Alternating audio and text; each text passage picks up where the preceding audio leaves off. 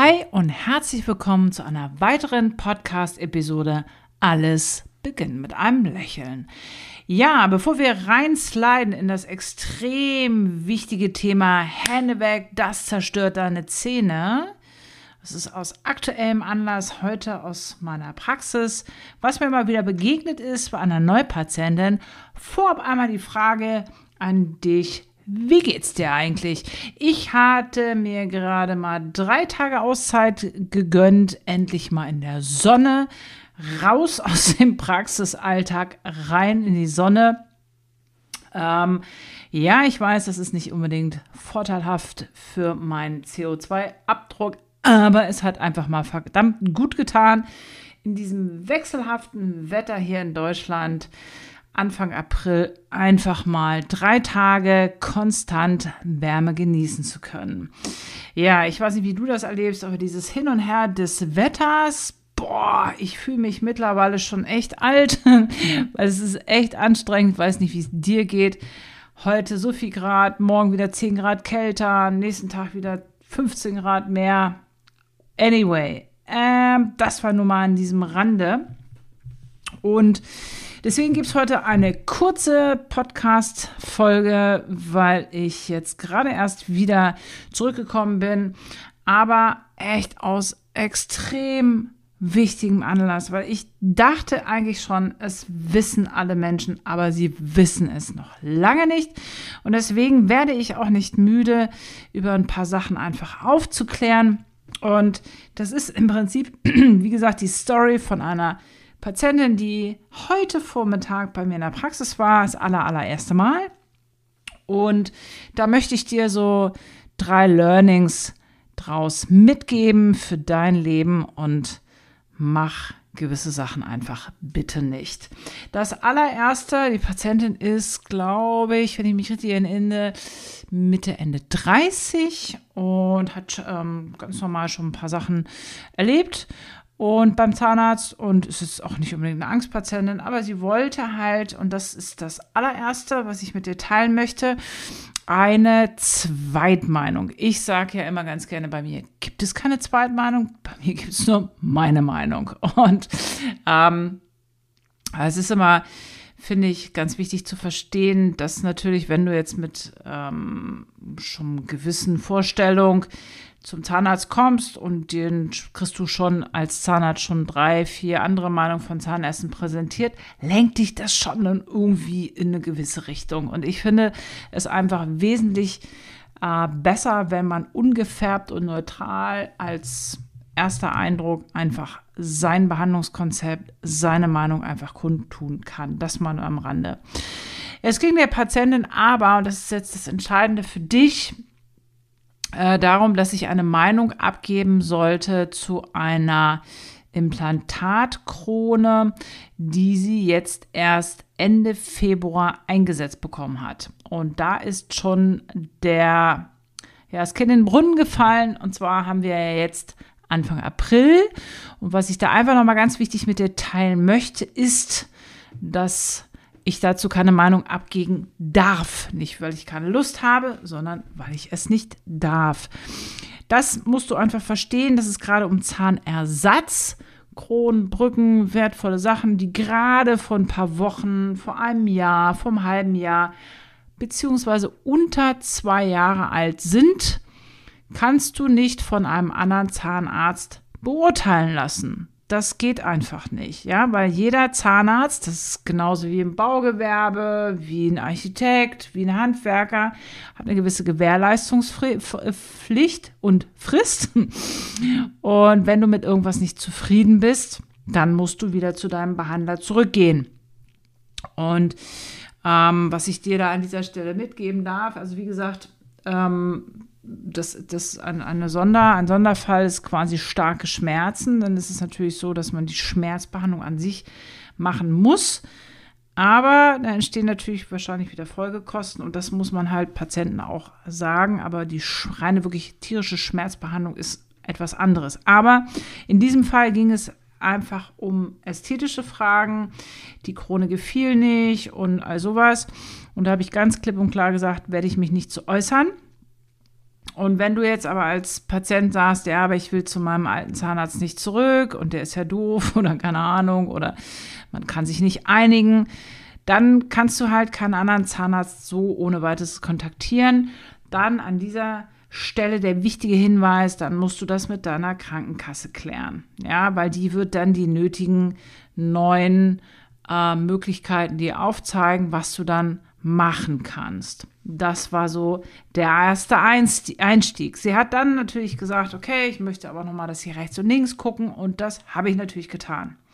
So, ein ganz, ganz wichtiger Hinweis an dieser Stelle ist, was viele einfach wirklich unterschätzen, ist, lass die Hände vom Rauchen. Ja, ich weiß, ich will überhaupt nicht jetzt wie ein Prediger für das Nichtrauchen hier aufkommen, aber du musst einfach und darfst verstehen, dass gewisse Sachen beim Rauchen einfach halt auch langfristige Folgen für deine Mundhöhle haben.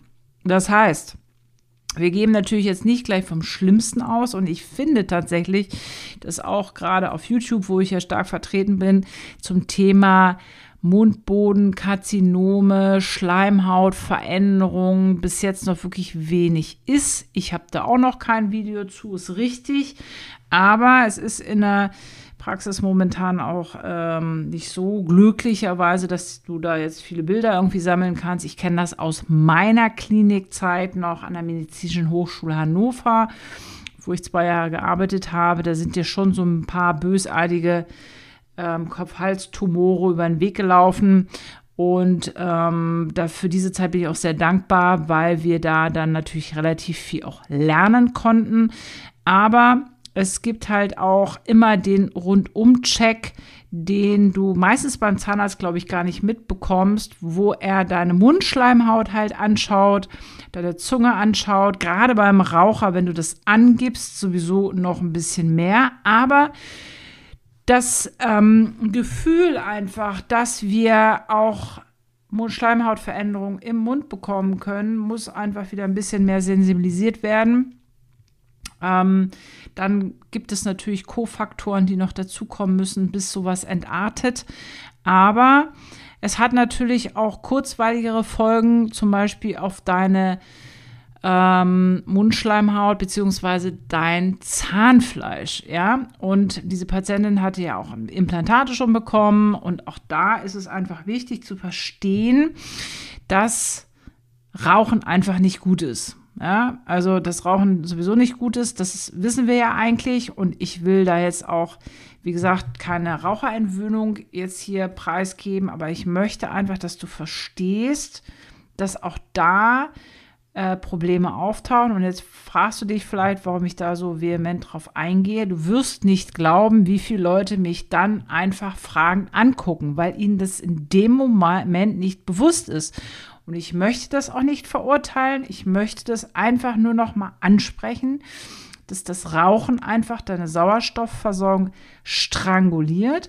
Und wenn du zum Beispiel ähm, einfach schon ein Zahnfleischproblem hast, vielleicht nicht so ein starker Putzer bist, dann sind das alles Sachen, die natürlich dazu kommen, dass dein Zahnfleisch irgendwo irgendwann vielleicht sogar in einer Parodontose einfach endet. Und das sind Sachen, die du selber natürlich im, in der Hand hast.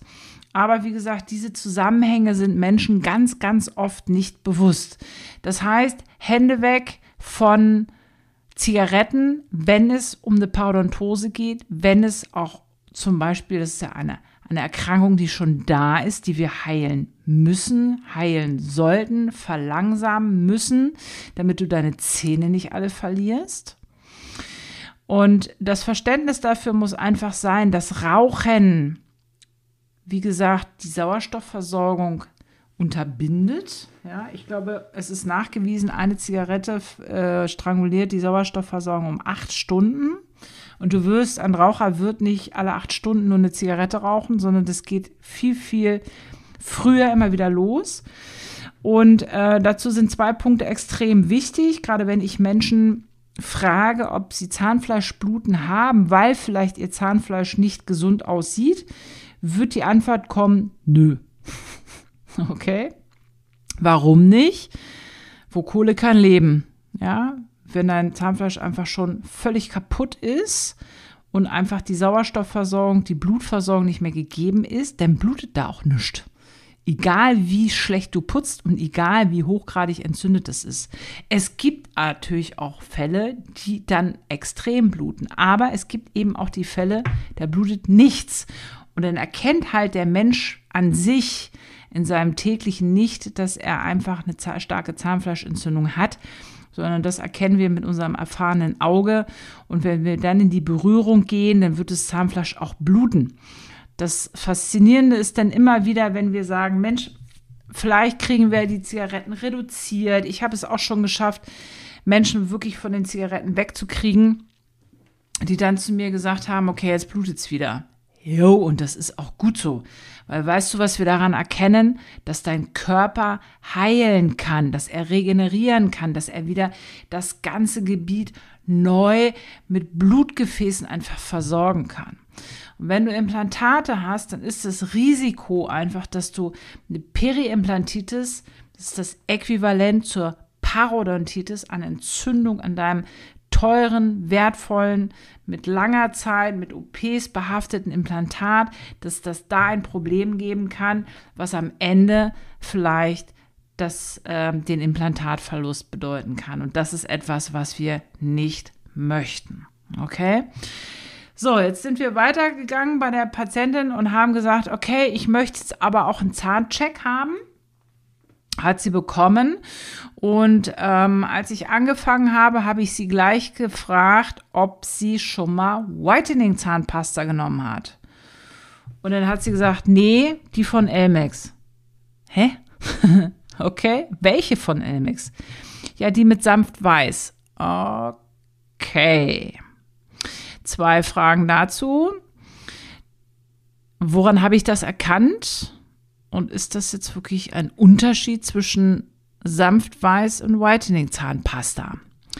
Also, erkannt habe ich das ganz klar daran, dass ich gesehen habe, dass gerade ihre Unterkieferfrontzähne ansatzweise an den Oberkieferfrontzähnen, wir erinnern uns, die Patientin raucht, ähm, sie natürlich versucht, sie möchte weiße Zähne haben und sie möchte die Raucherbelege weghaben.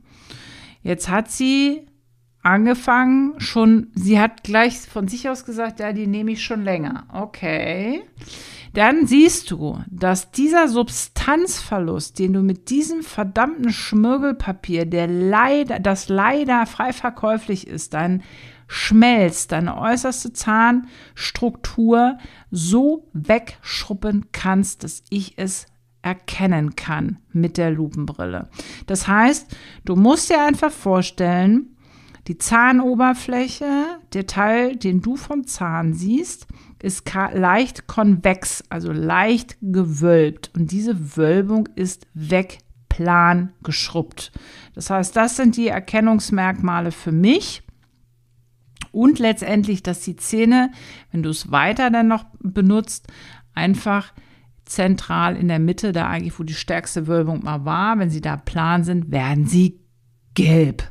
Und am Ende werden sie wehtun. Also du hast damit dann alles das erreicht, was du nicht haben möchtest. Schmerzen möchte kein Mensch haben und gelbe Zähne will auch kein Mensch haben.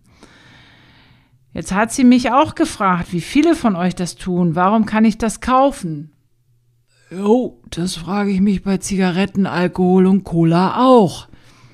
Okay? Du hast die freie Wahl, du hast die freie Entscheidung und deswegen versuche ich heute aufzuklären und bitte teilt diese Podcast-Folge mit Menschen, die das noch nicht wissen oder die euch am Herzen liegen. Damit machst du deine Zähne kaputt. Okay? Und wir fallen immer wieder auf die Firmen, die die meisten Marketingbudgets haben, einfach rein und Elmex und Aronal hatten früher, habe ich als Kind auch jahrelang genommen, aber die blaue und die rote Tube. Jetzt haben sie ja tausend verschiedene Farben und da sind auch ganz viele von dunkel, lila, grün, sensitive, alles gut. Aber wir haben im Kopf, wenn ich an Zahnpasta denke, denke ich an das und das. So, und jetzt weißt du, diese Firma steht für Zahnpasta bei dir? Vielleicht schon aus der Kindheit geprägt. Ob das Colgate ist, ob das Elmex und Aronal ist, ob das Odol Med 3 ist. Du hast deinen dein Mind darauf konditioniert, dass du sagst, das ist eine gute Zahnpasta. So, und jetzt will jeder weiße Zähne haben. Und ganz ehrlich, die Firmen sind schlau. Die machen das natürlich sanftes Weiß, softes Weiß, Weiß. Aber das Prinzip ist doch dasselbe. Ich weiß, es gibt Zahnärzte, die propagieren das, ja, das kannst du vielleicht ein oder zweimal die Woche nehmen. Nein, ich lehne das ab. Mach das nicht, weil die Probleme sehe ich ja in der Praxis. Wenn du weiße Zähne haben möchtest, lass uns drüber reden. Lass es uns einmal professionell machen. Schmeiß dein Geld bitte nicht zu Billigprodukten raus für eine Zahnpasta, die dann am Ende des Tages die Zähne nicht nur kaputt macht, schmerzhaft macht, sondern auch noch gelb macht. Dass man einmal es vernünftig macht, kontrolliert und ich habe ja auch gesagt, zudem ist es dann auch noch so, dass man das Ganze hätte vielleicht vorher ansprechen können, weil die Frontzahnimplantatkrone, die sie gerade neu bekommen hat, passt dann von der Farbe nicht mehr. Also, das waren viele Punkte, die ich dir einfach aus einem Patientenfall einfach mal mitgebracht habe, woraus du einfach ein paar Punkte lernen kannst. Bitte keine Zweitmeinung, bevor die Gewährleistung nicht abgebrochen ist, weil diesen Weg kannst du dir sparen. Dieser Zahnarzt würde dich wieder zurückschicken. Ähm, das macht kein Zahnarzt. Das ist einfach standespolitisch uns nicht erlaubt, werden wir nicht tun. Drittens, äh, zweitens, reduziere oder hör auf zu rauchen, wenn du eine gesunde Mundhygiene, eine gesunde Zahngesundheit haben möchtest. Und bitte kauf nicht Produkte, die dir versprechen, schnell ohne Zahnarzt in fünf Minuten, fünf Minuten am Tag angewendet, weiße Zähne. Da gibt es so viel Bullshit-Produkte, die entweder überhaupt nichts bringen und dir einfach nur das Geld aus der Tasche ziehen oder am Ende sogar viel mehr Schaden machen und dann du viel, viel mehr Geld bezahlen musst, weil wir einfach reparieren müssen. Das soll es gewesen sein. Wieder eine spannende Folge, doch ein bisschen länger als erwartet. Ich hoffe, du konntest deine Learnings daraus ziehen. Wie gesagt, teile bitte diesen Podcast gerne mit Menschen, die davon profitieren können. Ich freue mich auf nächsten Mittwoch, wenn es wieder heißt, alles beginnt mit einem Lächeln. Ciao, bleib bitte gesund.